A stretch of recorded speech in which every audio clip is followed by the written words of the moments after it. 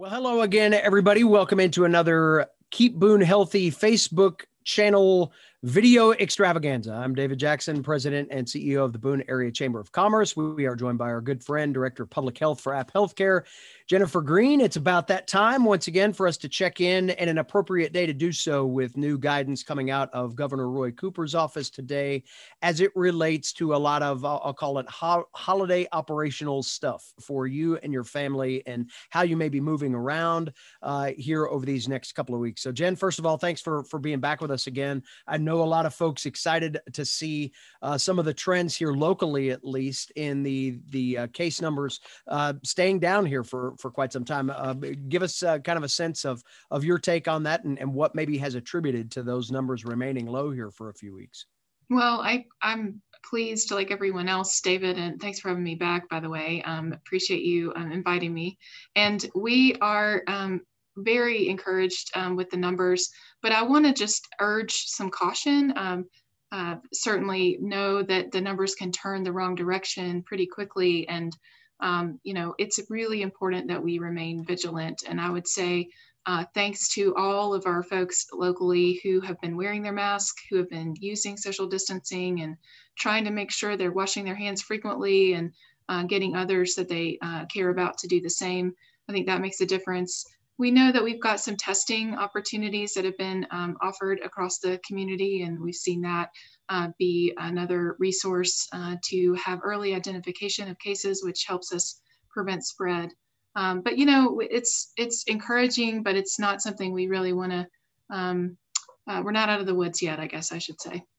Well, and, and I know that we've talked uh, from a local resource standpoint at, at, various times over the last several months about hospital capacity and, and that being one of the lagging indicators going into, but probably also coming out of some of the, the, the spikes that we've seen in time. Uh, what do you see in terms of hospital capacity right now in, in this general area? And is there still any carryover effect from the, the spike in numbers that we saw back toward the beginning of October? Well, we certainly see um, there is uh, a number of uh, folks who have had to seek hospital level care.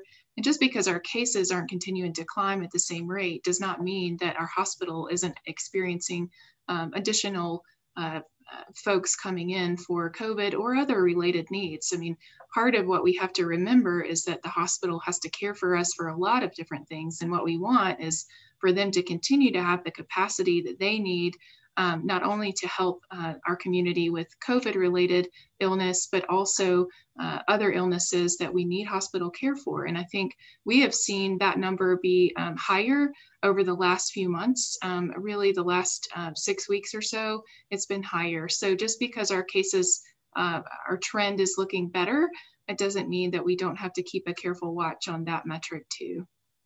Jen, I know there's been a lot of discussion in the media here over the last few days uh, about the uh, the V word, that being vaccine, and and understanding that there are some things that are in process now that that may, um, you know, be shining some some light toward the end of the tunnel a little bit on on some of this. Can you give us any uh, of your professional thoughts about what a realistic timeline looks like and and what a realistic distribution plan looks like for for North Carolina right now, so people can begin to think a little bit about the process and and and how long it may take for some of those uh, vaccines and and uh, different uh, care methods uh, to to reach our area. Well, I, I can tell you locally, we've um, submitted our um, vaccine enrollment um, uh, paperwork as a, a, provider in the public health system, and I know that um, that's part of uh, the process. Um, there is a uh, plan that's uh, listed on the Department of Health and Human Services website if you're interested in going to read it. Um, it's a draft plan, um, as most plans have to be as we're evolving, um, but it goes into a little bit more about uh, the approach uh, moving forward in um, prioritizing how the vaccine is distributed. So I can say, you know, a couple of things to take away. I don't think we're going to have broad availability anytime soon, but I do uh, have, you know, um, I'm encouraged to see uh, and hear some of the positive things that are coming out um, about some of the trials. I feel um, encouraged also that there is a statewide panel of folks who are really looking at this not only from a, a clinical perspective and what's going to be effective and safe, but also from a distribution perspective and what's going to be best for public health and how do we make sure that the vaccine is distributed to people in need, um, people who are at higher risk for complications, but also uh, folks who are working in the front lines. Um, and I think that's where we're going to probably see uh, more of the focus initially. Important information there and, and, delineation between those groups. And I know as, as we get more information, we'll certainly talk about it more, I'm sure, in our future chats. Um, kind of switching gears a little bit to the news of today, uh, Governor Roy Cooper making some amendments to phase three, uh, the most notable being uh, dropping that indoor mass gathering um, uh, number from 25 back down to 10, and really focusing a lot of today's conversation around those um, intimate gatherings or family gatherings that we might see coming up uh, for the Thanksgiving holiday. Um, can you give us a little bit more of that um, refresher on what it is about those smaller gatherings that that can become so problematic when we're dealing with with the spread of, of the virus that we're seeing at this stage of of uh, where we are? Sure. Um, I think one of the things that we um, see happening are people are sort of letting their guard down a little bit and um, we all want to hang out with people we know and we want to spend time together and um, you know really want to encourage folks when it's nice weather out um, and right now we've had some really beautiful weather um, being outdoors is always safer and it's not a replacement to uh, wear a mask uh, you know, remembering to, to wear a mask is, is critical. And what we see happening in some of our cases locally are gatherings that are uh, all good intentions and people having a good time. And then later on, we learned that uh, folks have actually been infectious and um, it's led to more people um, catching uh, COVID 19. Um, you know, if you're going to be in a gathering, you know, think about how you're feeling. Make sure that you're not uh, feeling unwell, that you are uh, attending and you're healthy. Um, also, you know, it's always safest to be with the people in your household. The people that you're with all the time um, is always a safer bet. But if you are choosing to do um, another gathering, you know, keeping it to uh, 10, do- 10 people indoors, um, making sure that you're outdoors as much as you can. Um, but if you're inside, uh, keep that social distance, wear your mask, make sure you're healthy, and um, and try to, you know, think about other ways. Um, you know, it's probably not the time to set up the buffet where everyone's handling things. Uh, it's a time to maybe um, serve people if you're going to have food and drinks um, at your um, event. I think that's one way. Um, I also think uh, limiting your exposure before you go to an event um, is important. So thinking about the uh, two weeks in advance, and right now we're looking at Thanksgiving right around the corner uh, how can we try to limit our exposures uh, as individuals before we go um, attend a, a, Thanksgiving dinner? I think those are really important uh, ways that we can protect our loved ones. You know, and, and, that's been an interesting shift in the conversation around this particular set of holidays coming up. Uh, back at, at other points in time in the summer, where travel wasn't as big of a thing, uh, you didn't see that that guidance that was out there today about hey, start thinking proactively about that trip that you may need to take and and spacing out 14 days to quarantine yourself and all of that that uh, that type of stuff too. Another thing that came in that that same vein today was about pre-event testing. Um, and and maybe if you are again going to um, go to a gathering to make sure that you've got a clean covid test ahead of time what is a good timeline to attach to that kind of activity. Uh, not getting yourself tested too early, but also probably not getting yourself tested too late right before those events too. Well, I think um, the key would be um, looking at, you know, closer to the event. Again, trying to limit your exposures in advance, um, but then uh, maybe thinking about, you know, uh, three to five days out, um, getting tested. And certainly uh, the people who are attending your gathering, uh, they should also be aware of their own risk um, not just risk of exposure, but risk of complications if they have other health conditions. It may be safest for them to be at home. So um, that's important to keep in mind. Uh, there are a lot of testing options here in the community, and I would say we uh, certainly uh, support uh, you getting tested before you go to your event. And uh, uh, certainly you could come earlier than that, but you should also get tested again a little bit later. So um, hopefully that will help folks have a little clearer picture of, of that. One of the things that, that I know we've talked about a lot in these chats over the last few months is testing capacity. Is there anything new to, to share on that locally about what is able to be done here in the high country, especially now as we'll see, you know, student population leaving here pretty soon, maybe some people coming back to the area. What is available that might not have been there before?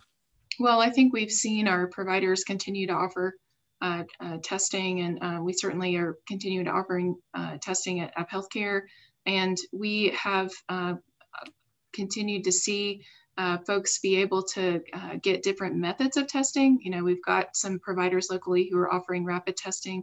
That's a really good tool for people who are sick and can certainly help us um, have early identification of cases. So that can be a helpful tool, and it's one we've added in um, here at AppHealthCare, um, for people who um, have symptoms, we can uh, certainly provide a rapid test. And um, so I think our capacity is good. One of the things we're working on, David, is to add some uh, additional staff uh, for uh, mobile testing. It's been a real need uh, for us locally here to have our team actually going, uh, not just uh, operating here at the health department, but being able to go on site to businesses or other locations um, to make sure that um, folks get access to testing. And so we've uh, we've continued to do that, and we'll we'll be planning for that in the spring another one of the, the kind of time sensitive things is we we look forward a couple of weeks and, and thinking about holiday shopping and we've talked a lot about what those windows look like even just from a, a manufacturing of goods standpoint but certainly as people get back into that routine and, and start to move around uh, probably a, another good idea to remember some of those um, uh, tried and true things that were done back in the spring early summer about uh, limiting exposure in and out of, of business settings. Um, some guidance released by dr cohen today about that uh, what are some of the high points on on that from your perspective? Uh, I think the biggest thing is remember the basics. You know, wear the get behind the mask, as as as she has said, and I think um, that's critical. Um, also, I would say, you know, if you're a local business, think about how you can serve people who uh, might be at higher risk. And if you're in a high risk group, think about going in an off time. Uh, maybe it's not the peak time of day, um, spend some time thinking about when you could come earlier hours or later hours, or perhaps in a time that's a lower, slower time um, that would limit your exposure to others. Also, you know, be aware when you're going to a, a business or a location. Uh, try to think about what you're looking for in a healthy place, and and I think our local businesses have done a really good job of trying to demonstrate that, and that um, uh, that certainly helps us all feel safer when we're walking in. I, I know that uh, because we don't need anything else to stack on top of this, but but we have heard um, you know uh, countless reminders about flu shots. The last time we talked, we were really kind of at the onset of that period of, of availability of, of the flu vaccine here in in the area. Um, where does that stand? Number one, in terms of access, and and um, you know again from your health provider's perspective, uh, the importance level of of people uh, making sure that they're vigilant with with getting flu shots this year. Where does that rank on your priority list? I'd, I'd say um, a flu shot should be at the top of everyone's list. It is one of the most important things, and we say it every year, but this year in particular, it's one of the most important things you can do for yourself and your loved ones. Uh, don't forget your children um, and need that, uh, as well as uh, maybe older adults in uh, your family.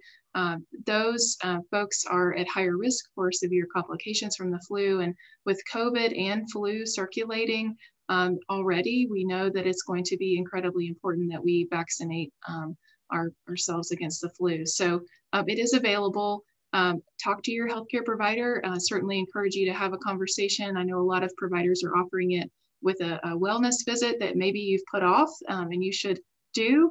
Um, so that's a good way to do it. another way is just uh, talk to a local pharmacy or you can call the health department. We certainly offer it too. Jen, I know you're going to be joining us for our uh, Vision Northwest North Carolina event next week, and we're going to talk some about that that um, uh, workplace wellness care and, and, preventative care that employers can can talk to employees about. But you just kind of mentioned it, and the, the last thing I want to kind of leave us with here today, um, in thinking about the end of the year coming up here pretty soon. I know that there are a number of people that use that period of time to rush to get into the doctor one more time to, to maybe take advantage of that healthcare benefit uh, while they've got the opportunity to do so um, it, the the landscape of things that can be provided right now ver, uh, through telehealth, through uh, medical practices that are taking those extra steps. Uh, it, it seems again from the consumer side like more is available in a safer environment than perhaps ever before. So that shouldn't necessarily be the thing that keeps people going or, or from going to get those mm-hmm. routine checkups while they've got the opportunity. Would you say that's fair? Yes, I would say that's really fair. And I, I would say too, it's a, it's an opportunity for you to have a conversation with your provider. If you um, if you have questions or concerns about it, they can walk you through it. And I think we've seen local providers really step up and um, put into place uh, these telehealth practices that are incredibly uh, useful for having that um, face-to-face interaction with your provider in a secure way um, and could limit your uh, time. So maybe you just come in for your flu shot instead of coming in for your um, whole extended visit um, unless you need something else.